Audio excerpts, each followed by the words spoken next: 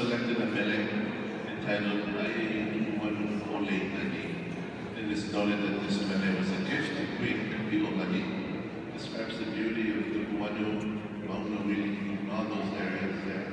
This melody is often attributed to the kupuna of uh, Kumuhula Wanu